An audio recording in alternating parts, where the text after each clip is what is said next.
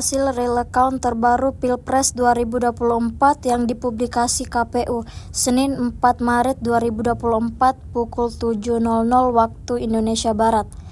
Hasil suara terkumpul berasal dari 642 ribu lebih TPS dari total 823.236 TPS atau sekitar 78,00 persen.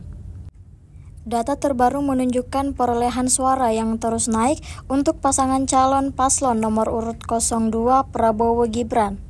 Dikutip dari Tribun News, suara yang diperoleh paslon nomor urut 02 Prabowo Subianto Gibran, Raka Buming Raka terus mengalami peningkatan dan terus mengungguli dari capres-cawapres lainnya sekitar 75.374.978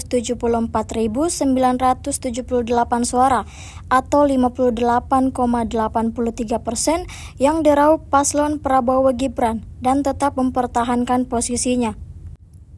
Sedangkan untuk perolehan suara terbanyak, urutan kedua diduduki oleh paslon Anies Muhaimin dengan perolehan suara sebanyak 31.380.705 suara atau sekitar 24,49 persen. Posisi terakhir diduduki oleh paslon Ganjar Mahfud dengan perolehan suara sebanyak 21.376.763 suara atau 16,68 persen. Download Tribun X sekarang, menghadirkan lokal menjadi Indonesia.